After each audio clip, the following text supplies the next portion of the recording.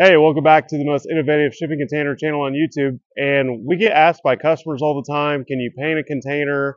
Um, you know, it's a kind of a discussion online as well. And it's kind of an interesting question because, yeah, you can paint a shipping container. And if you do it right, they turn out great. But if you buy a used container for, let's say, 2500 bucks and you spend five, six, seven, eight, nine hundred dollars paying a company to paint it, you're pretty much to the price of a, of a new container um, so we do them as cheap as we can. Um, you could slap some paint on them at home. Uh, used containers look okay when you paint them. Uh, new containers paint really well. Um, so if you're not happy with the color of a new container, then it would make sense to paint it. Um, if you do it at home, you can roll it or spray it. So I'll turn around and talk about this one a little bit and why we painted it.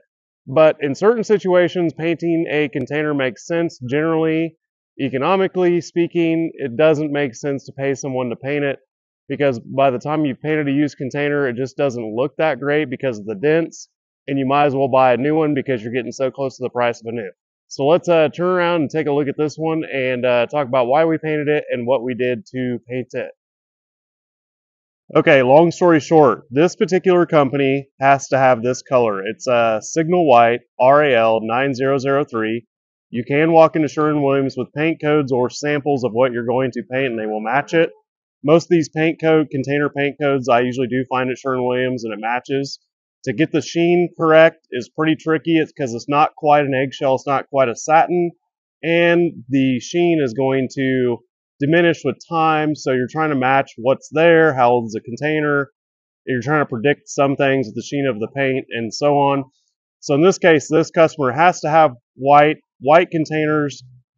You can find them, and these are all just in general terms, so don't destroy me in the comments. White containers generally are hard to find. Most of the time you can find them, but this customer wanted quite a few of them.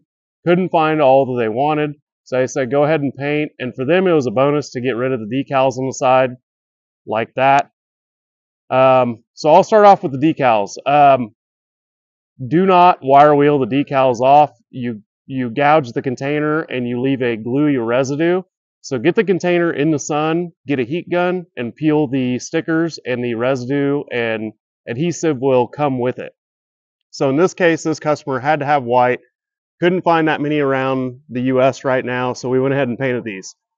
And these are sprayed. You can roll them and they turn out okay, but we sprayed these. So the critical thing to do when you paint a container is mask your seals and your handles off. I absolutely hate it and yes, we do have some grease to clean up on the inside of this. Um, I absolutely hate it when people paint the handles and the seals. It looks like complete trash. So you can see here we masked everything off. Honestly, you can't even really tell we painted this thing minus the decals are missing. And you've got to paint in the jambs. You've got to paint all your hinges.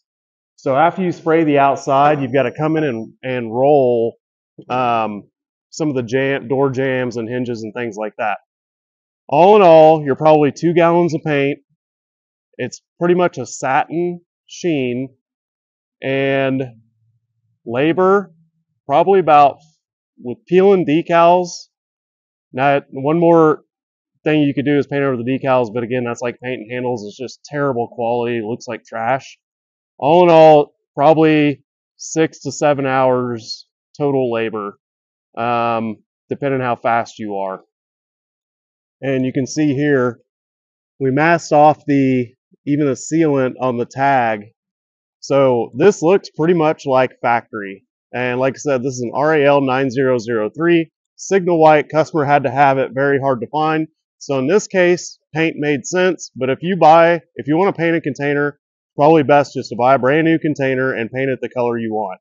Um, so in some cases, it does make some sense, but painting used containers, unless you're going to do it yourself, really doesn't make sense on our end. So thanks for watching. Uh, drop comments if you got any questions, and thanks for watching.